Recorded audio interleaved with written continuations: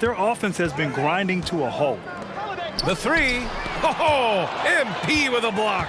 Well, looking at the numbers, MP has been on point in his mid-range game.